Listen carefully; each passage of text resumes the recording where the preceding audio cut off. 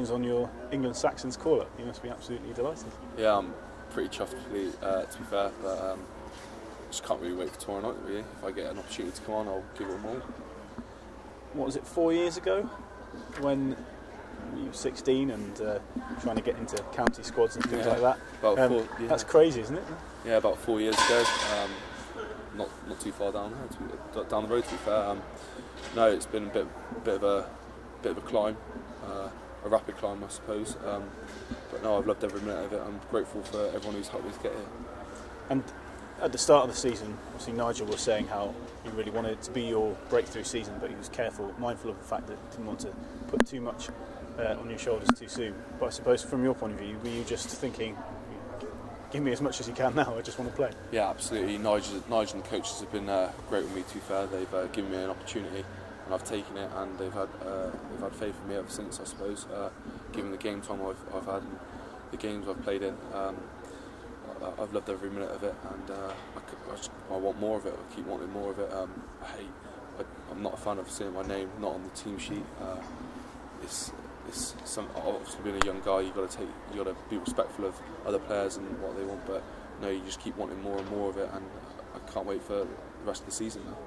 What's this week been like uh, getting to grips with the, you know, coming to the, the Saxons camp? Has it, has it felt like much of a step up? Uh, it's a it's a big step up. Yeah, it's um, everything's a little bit more detailed, a little bit more uh, high pressured situations. Um, but no, uh, again, I've, I think I've taken to it well.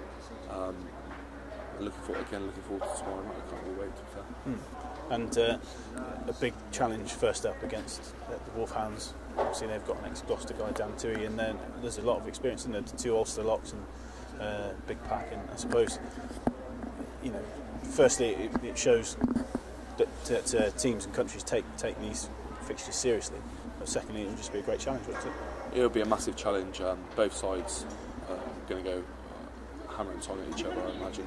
Um, but it's again, I just can't, I can't wait. To be fair, it's uh, what an opportunity it is to play against quite an experienced uh, Irish Wolfhound side uh, with uh, a pretty young. Uh, young, I think 24 is the average age, I believe, for the Saxons. But what, a, what an opportunity we all have uh, to show what we can do. Charlie, um, congratulations on being involved with the Saxons and uh, no better place to play for you. Yeah, it's uh, it's been a bit of a whirlwind few days for me. Um, just delighted with the call up and couldn't be happier to be playing at Kingsholm tomorrow. Obviously, no better way to respond from obviously being omitted from the first squad. Two tries in two games and look back to your best. Yeah, it was it was almost nice to, you know, have that the weight off my shoulders and and obviously we had a, a few good games with a few good performances with Gloucester. Unfortunately, I was able to, as you say, put in a couple of good performances, get a couple of tries off the back of that. So um, it's nice to obviously to, to be back in the mix and to obviously have that recognition. Obviously, bringing a young England Saxon squad uh, to a place that you're quite familiar with. yeah, the familiarity is going to be going to be great tomorrow. You know, it's nice to just drive two minutes down the road now and come and do do a bit of media, and then ten minutes up the road to the hotel for tonight. Um, and obviously tomorrow, warming up, being in the change rooms. You know, it's nice to be at home. Obviously, it'd be fantastic all the home support. I'm sure. Um, and yeah, very exciting squad to be a part of. So hopefully we'll we'll be able to put in a good performance tomorrow night and, and do ourselves do ourselves proud. In recent years, you're, you're no stranger to the England setup, and you- you've obviously had to guide through two of Gloucester's youngest talents in Dan and Elliott. yeah, obviously Dan and Elliott getting called up for the first time. Um, I've not, I've not been onto them too much. To be fair, I, I remember my first involvement with uh, with England, and I was with Sinbad, and obviously Sinbad had been around that setup for about ten years, so I'm not quite as experienced as that. Um, but yeah, you know, it's nice to obviously have those younger guys around.